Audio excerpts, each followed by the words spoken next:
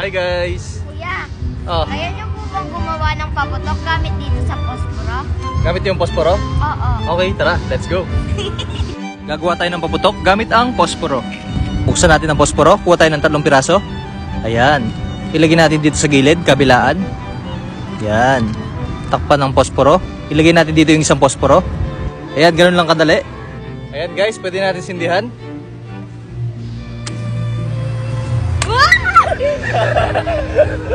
Ayun.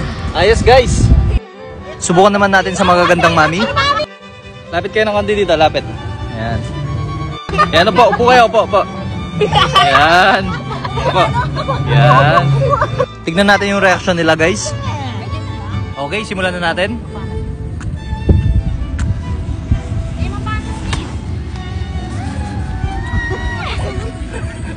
Bye, guys.